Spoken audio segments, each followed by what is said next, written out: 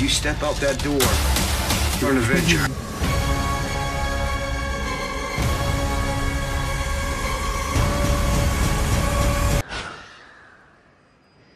Son of a gun.